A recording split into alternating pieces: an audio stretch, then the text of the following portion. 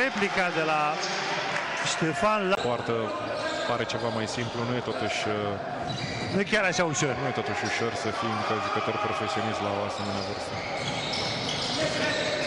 Pentru a, pentru a avea o mai bună precizie în aruncări, pentru a avea o mai bună priză la balon, combinată cu transpirația, se creează o peliculă foarte alunecoasă. Foarte mulți accidentați. E, bă, asta zicea și Horațiu Gal înainte de meci. E prima oară de când au promovat când, a, când reușește să așeze șase... șase E ce mult mai greu în această privință. Asta cred că e prima reacție a lui uh, Fane Laufceac.